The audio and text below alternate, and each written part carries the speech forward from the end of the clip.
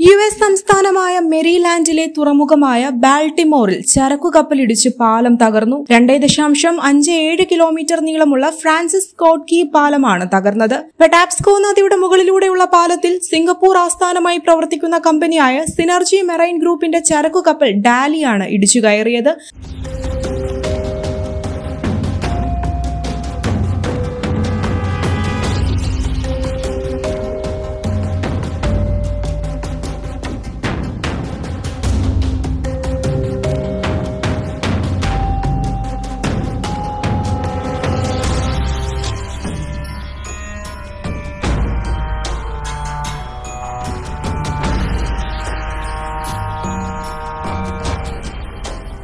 കപ്പലിലെ ഇരുപത്തിരണ്ട് ജീവനക്കാരും ഇന്ത്യക്കാരെന്ന് കപ്പൽ കമ്പനിയായ സിനർജി സ്ഥിരീകരിച്ചു. ബാൽട്ടിമോറിൽ നിന്ന് ശ്രീലങ്കയിലെ കൊളംബോയിലേക്ക് യാത്ര തിരിച്ച കപ്പൽ മിനിറ്റുകൾക്കുള്ളിലാണ് ഫ്രാൻസിസ് സ്കോട്ട് കീ പാലത്തിൽ ഇടിച്ചത്. യു എസ് ദേശീയഗാനം എഴുതിയ മെരിലാൻഡ് സ്വദേശി ഫ്രാൻസിസ് സ്കോട്ട് കീയുടെ പേരിലുള്ളതാണ് പാലം.